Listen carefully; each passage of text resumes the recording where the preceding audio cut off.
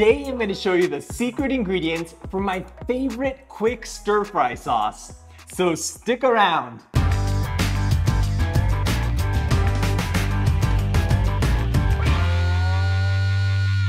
Welcome back to No Recipes.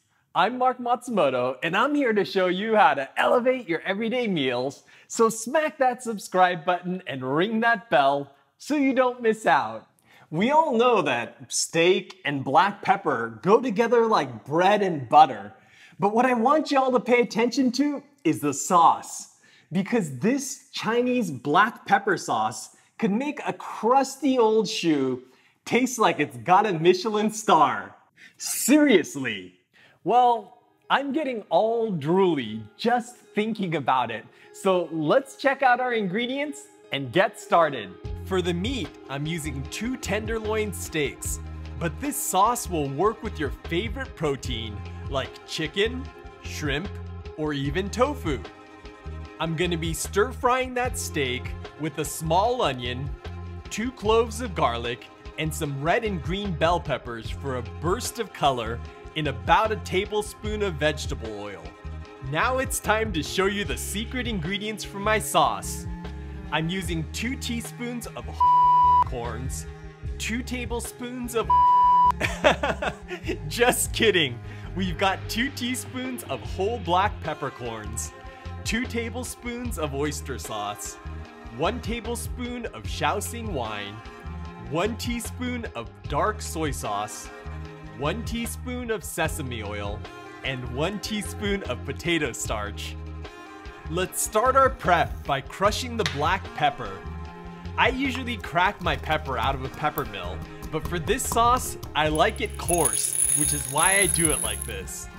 If you don't have a mortar and pestle, you can put the pepper in a heavy duty bag and whack it with something heavy like a pot or a rolling pin. Okay, the pepper's looking good and it smells incredible, so let's get it into the bowl. I'm also gonna add the oyster sauce, Shaoxing wine, soy sauce, and sesame oil. And we're gonna stir that all together. Then I'm gonna add the potato starch and mix it until there are no lumps left. Now let's cut the beef into 3 quarter inch cubes.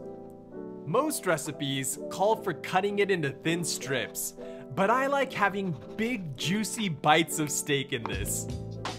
Just be sure to pick a cut that's pretty tender or you're gonna end up with a big wad of beefy chewing gum. Okay, let's get the meat into the sauce and mix it around to coat each piece evenly. Then we're just gonna set this aside while we prep the veggies. For the garlic, I'm gonna smash it and peel it. Then I'm gonna trim the stems off and chop it up roughly. You don't wanna chop it too small or it's gonna burn in the pan. Next, I'm gonna trim the ends off of the onion and peel it. Then let's cut it in half. Slice each half into thirds horizontally, and then we're gonna chop it into 3 quarter inch squares. For the bell peppers, you wanna core and seed them first. And be sure to get the light colored membranes out as well. Then we just need to cut these into 3 quarter inch strips, and then into squares. Today I've used two different colors of small bell peppers to keep things colorful. But you can use one color, or three, or none at all if bell peppers aren't your thing. Just find another veggie to substitute in like cabbage, celery, or more onions. That's it for the prep. And I've got a frying pan over high heat that I'm gonna add the oil and garlic to. We're gonna give this a quick stir, and then I'm gonna go right in with the beef. I know it's tempting to just dump everything in, but you want to leave the excess marinade behind in the bowl. Otherwise, our steak's gonna end up boiling instead of browning. Once the beef starts browning on one side, flip it over and brown the other side. Now we're gonna let this fry undisturbed for about 15 seconds or until it starts to brown on this side. Don't be afraid of getting a bit of char on that beef. This is what's called wok hei, and it's what gives a good stir fry its smoky aroma. Now I'm gonna toss this around and see what we've got. I think I want a little more char on the steak, so I'm gonna go ahead and let this go for a bit longer.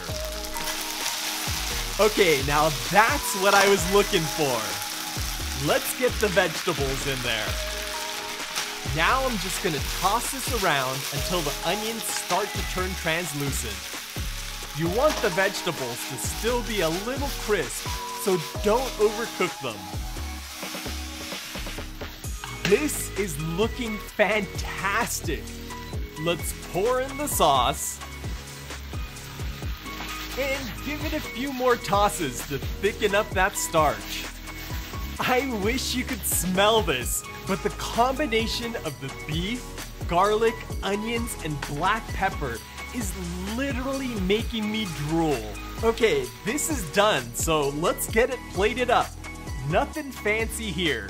You want to get it out of the pan as quickly as possible so the beef doesn't get overcooked.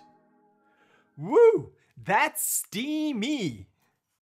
I'm gonna sprinkle on a bit more black pepper to garnish this, and our steak with black pepper sauce is done.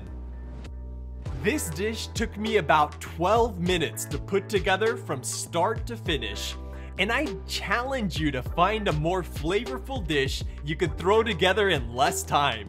With big juicy chunks of tender steak and crisp sweet veggies glazed in a peppery sauce, this umami bomb of a stir fry is a craving just waiting to happen.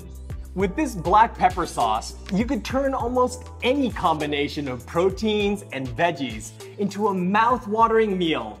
So I hope you'll give it a try. If you enjoyed this video, let me know you want to see more like it by giving this a big thumbs up and by sharing it with all your friends that could use a quick stir fry. I want to thank all of my amazing patrons out there who helped to fund this video. You guys are awesome. You know what else is awesome? The smell of that black pepper beef over there. Anyway, if you're learning something new from my videos, I hope you'll consider clicking the link up here to join the No Recipes crew and help support our future videos. Well, I'm gonna go have a bowl of that deliciousness over there now. Oh yeah, I almost forgot, and I'll catch you in the next one.